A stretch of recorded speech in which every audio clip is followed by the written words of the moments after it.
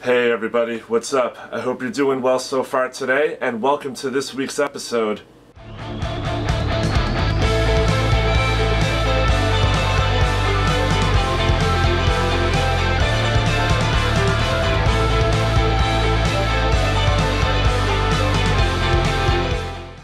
In this video, I'll be going over how we can use the Mastermind GT to control your DAW. Whether it be Studio One, Ableton, Logic, or Pro Tools, we can actually set many instant action buttons in this device to control many, many different settings and buttons and switches within a DAW. And I'm talking about not only the usual buttons like play, stop, and record, but even some of the more obscure buttons as simple as like hitting undo and redo, or arming and muting a track. The list goes on and on.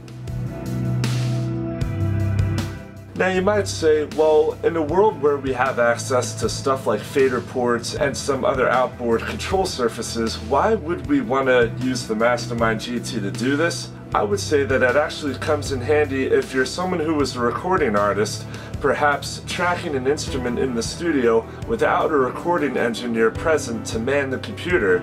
One thing that I do quite often is that I'll run some takes on piano and I'll be quite a distance away from the computer what I'll have is a couple of pages in the GT that have instant access buttons that are dedicated to handling certain functions that I find myself most commonly using in the event of tracking. So what would those buttons be? Well, usually if I do a take and I make a mistake, I'll want to undo that, perhaps cut that track out, and go back to the position I was in. I can program instant action buttons to do each of those things. And that's really great in my opinion because I don't have to worry about getting up from my piano, walking over to the computer and getting rid of something, then heading back to the piano, repositioning myself, and not to mention that you need a way to even hit record. So in my opinion, if we can have piano keyboards with MIDI capability doing some of these very similar functions, then why not have the ability to use a device like this where you can be with either just a pure analog or an acoustic instrument and still have your DAW's controls right at your feet. So I'd like to proceed with this video by showing you exactly how I'm setting up the GT with my DAW, what kind of settings I'm giving to the buttons, and how exactly I'm mapping these buttons to my DAW session. So if you've been keeping up with all my videos about the Mastermind GT, this very first step is going to look super familiar to you. However, if this is your first time seeing one of my videos about this device, firstly, welcome to the community. Secondly, what we do here is we need to establish a MIDI connection between the Mastermind and our DAW. So to do that, we need to register the DAW as a device within the GT. So let's go ahead and open up our main menu. We'll select Edit Devices, choose an empty slot, hit Type. So the thing about RJM is that for tons of devices across many manufacturers, they have many pre-programmed settings for different devices, which is great. However, a DAW is not something that we're going to find. But that's okay, not necessary because you're going to find that a DAW is super easy to set up. So let's just go ahead and hit generic. PC and CC device. Let's go ahead and give our device a name. We'll just simply call it DAW. Okay, cool. You may set your MIDI channel to whatever works best for you. I like to put mine on 11 so it doesn't clash with any of the other devices in my many rigs that I have going on here. Let's change our port to USB. We don't need the MIDI out for this. In fact, connectivity for this is super simple, I should mention.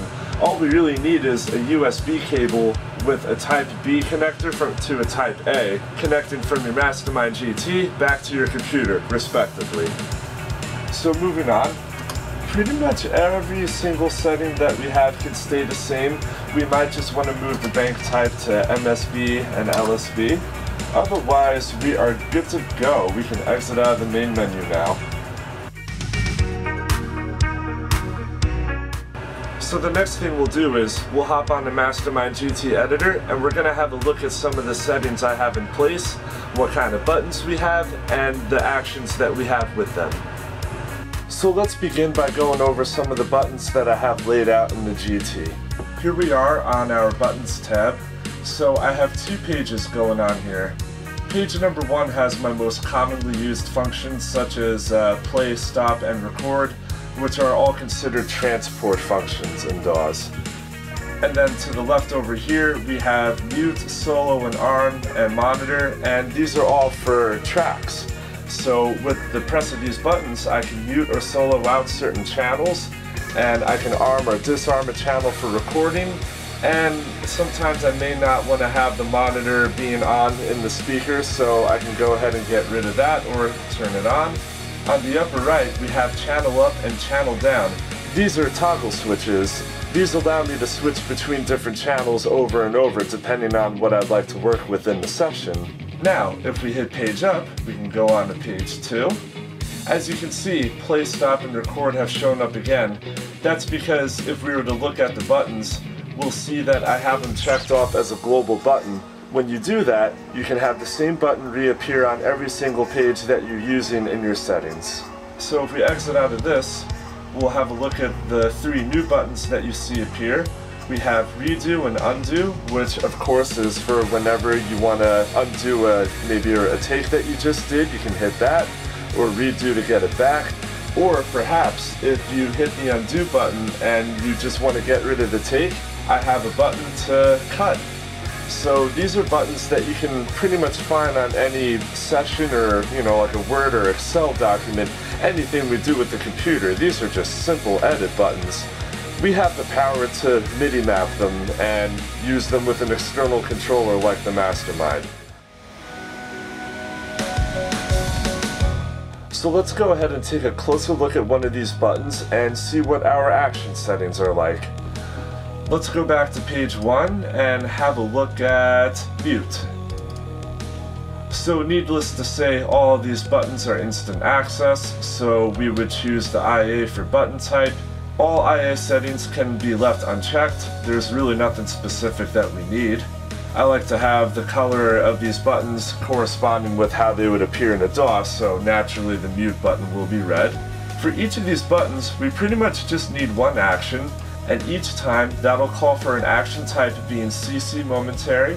The device that we initialize to be run as our DAW is the only device that is in this file settings for the GT, so very hard to confuse that for anything else. Then what I did is I chose to work between numbers 75 to 90 Honestly, for no particular reason, I just happened to be thinking of those numbers when I was setting this whole thing up one day recently, so I chose number 79 as my CC number. Now if we were to exit out of this, we would see that all of these buttons are very, very similar to each other. The only difference is not only just their name and color, but the CC number that I have designated for this certain function. Let's have a look at something like play, stop, and record. One thing that is a little bit different with these buttons as opposed to the rest of them is that they are assigned to a group. If we have a look at the IA settings, you'll see that I have them under group 1. Same with the stop button, as well as the record button. The reason why I chose to do this is because let's say that we're in the middle of, you know, just doing some basic playback in a song or we're going to record and stop whenever. This allows us to look at our GT to see that only one of these buttons is active at once. So let's say that we hit the play button. That'll be the only button on our GT that has a light indicating that it is in the on position. However, if we want to stop the playback of the track, we can go ahead and hit the stop button We'll lose the light from the play button and now the stop button will be lit, same as the record button. So I figured those would be three good buttons to have grouped together. The only other time we'll see that in these settings is with the channel buttons.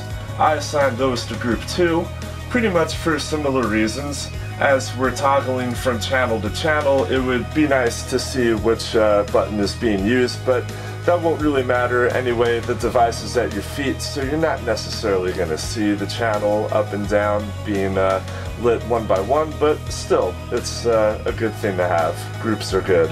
Now the only other time I have another group of buttons is with the channel up and down buttons. These two buttons are assigned to group 2, so that way they cannot interfere with the first group of buttons going on. In addition to that, since channel up and down are toggle switches, it's nice to have them in their own group, so that way either button will be lit depending on which way we're toggling on channels in our console section in the DAW. So that's pretty much all that's going on here. Before we head over to the DAW to MIDI-map these buttons, I'll show you a few tricks to kind of keep things organized in the GT here. So let's head on over to the Global tab, and let's have a look at System Settings. So since we're only working with two pages in this file, I'll just leave the max button page at 2. For the most part, that's all you really need to worry about, but now here's a little trick that I've decided to use on my own terms. The kind of settings that we're using with the Mastermind, they don't involve any presets or any kind of effects changes. So sometimes what can happen is when you're just using different buttons in the GT, sometimes your display screen might read different preset numbers which is a little weird. So if you're a guy like me who is very meticulous and proud of that, you might want to have it saying a certain thing on the main display screen the whole time, such as DAW controller. So here's what I did. If we go over to the presets tab, I have everything blacked out except for preset number one. I just have it saying DAW controller. Go over to the songs tab, make it a song, just type the same thing in song number one and go ahead and select it from the available presets and then go to the setlist tab and again you can just literally copy and paste this title to the name of the set list. and now what we can do is go back to global and on display settings click on show only song name and then with current set list up in the system settings just select the set list that you had so now when you go to use your GT as a DAW controller, you'll never have to worry about it saying anything weird because you have it officially locked in saying DAW controller at all times. And it's impossible for anything to be toggled to any other presets of any kind because there are no bank up or preset buttons, so nothing to worry about here. If you're not able to access it, the GT cannot access it either. Alright, so now that we have that squared away, let's go on and head into a DAW session and let's MIDI-map some of these buttons. So that way we can use our GT as a controller now. Okay, so here we are in Studio One, which is my DAW of choice as a creative. The chances are that you're probably not using the same DAW as I am, but that's okay because once I go through the settings and you see how this works, the chances are it won't be that hard for you to figure it out on your end. But if you have any questions, go ahead and leave it in the comments and I can give you a hand if needed.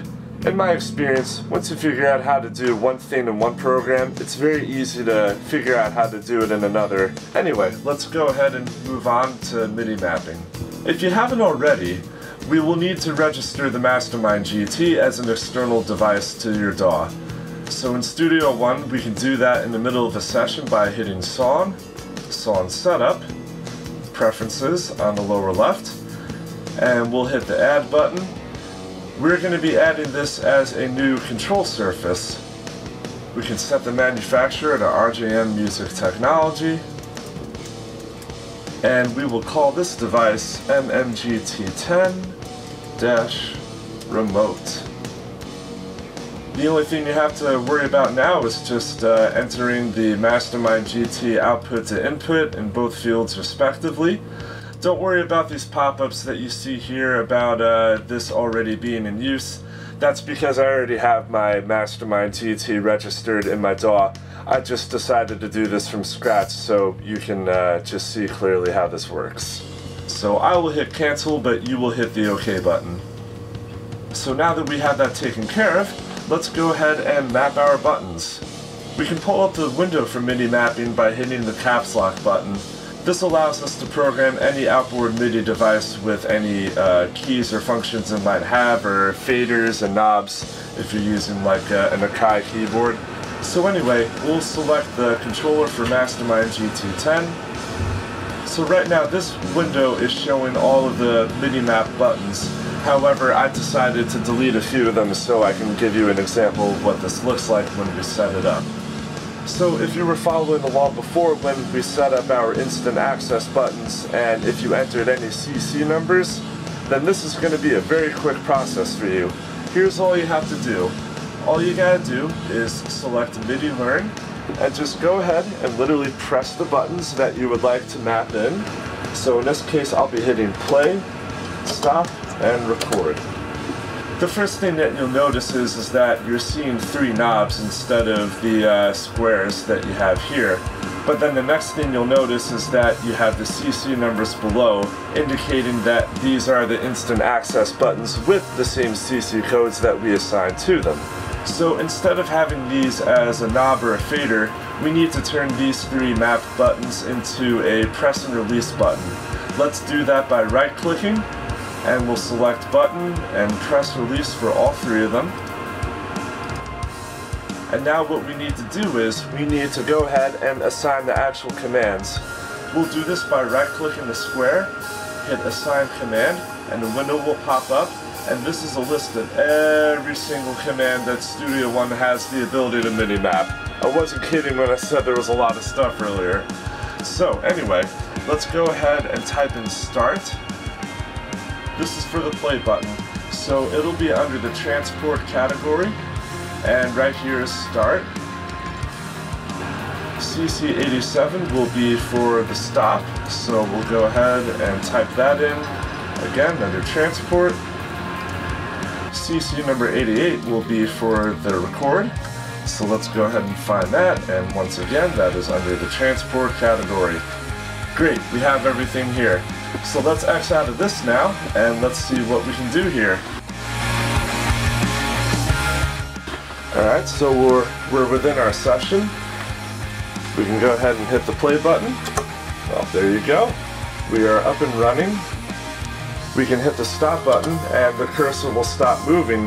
But what we can also do is we can hit the stop button again and it'll go back to the very first measure of the song. I'm going to manually move the cursor over here so I don't mess up a recording I did. But let's say that we want to get to the channel that says piano. Let's go ahead and hit channel down. We're right there. Oh, firstly, let's actually disarm this MIDI track here. Uh, let's just hit the arm button to get rid of that so there's nothing weird going on. Uh, let's hit channel down back to piano again. Let's arm this track. I'll turn the monitor off because I don't need it right now. We can go ahead and hit the record button. Now we can record. Awesome. Let's stop there. So we have a tape just sitting here with nothing going on. Let's get rid of it. Let's hit page up. We can either hit undo and it'll go away. Or maybe if we made a mistake and we want to get it back, let's hit redo.